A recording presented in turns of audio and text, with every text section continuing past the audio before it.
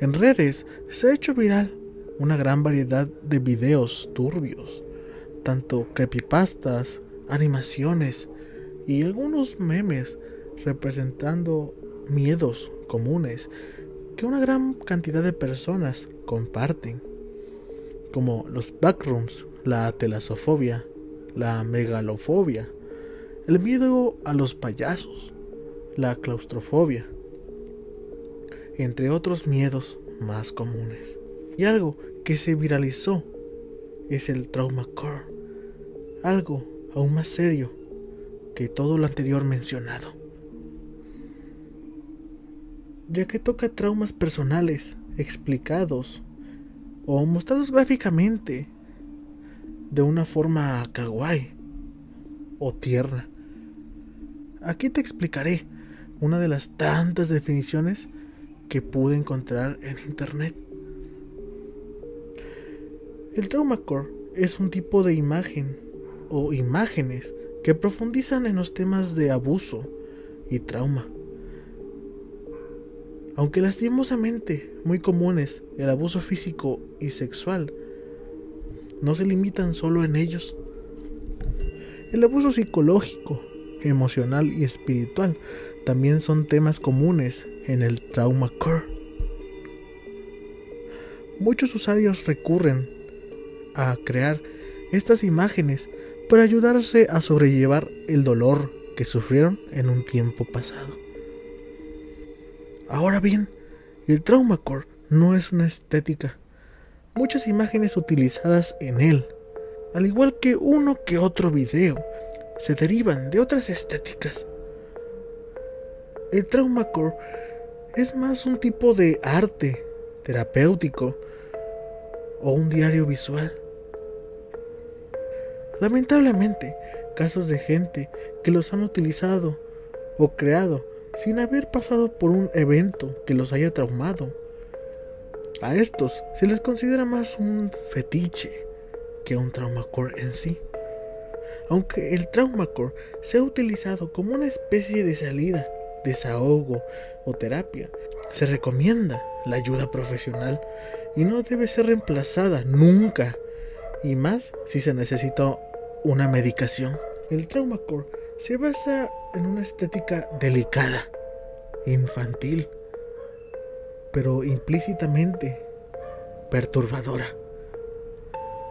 Su objetivo principal es la mezcla de lo inquietante y lo inocente.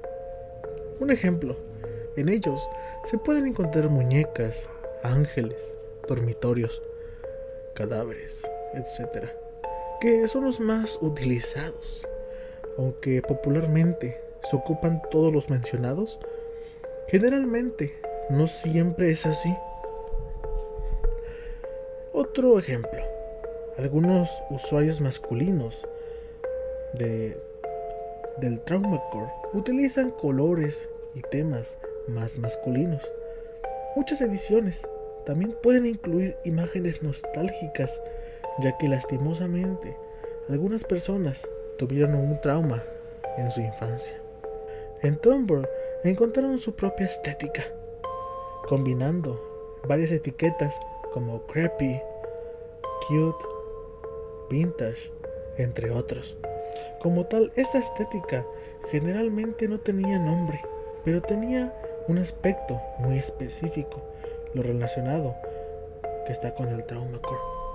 Esta estética es demasiado parecida a la trauma core, pero los usuarios utilizan a contraste de las imágenes delicadas y kawaii unas imágenes oscuras relacionadas principalmente con la depresión, el suicidio, el trastorno alimenticio, el abuso sexual infantil, el abuso religioso, las relaciones tóxicas o abusivas.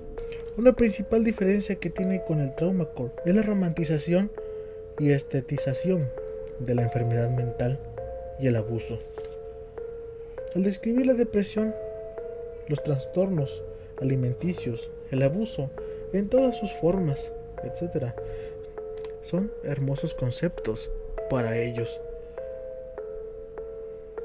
Las personas que aprecian la estética pueden buscar este tipo de experiencias que podrían poner en peligro su salud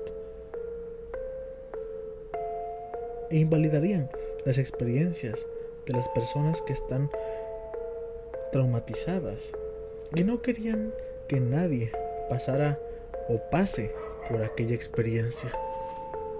En el mundo siempre habrá traumas y las personas buscarán alguna forma de expresar el miedo y el terror, el cual no es ni debería tomarse como un juego o como una especie de placer. Espero que haya aclarado tu duda sobre qué es el Trauma Core. No olvides suscribirte y activar la campana para más videos de terror. Nos vemos y no olvides sonreír.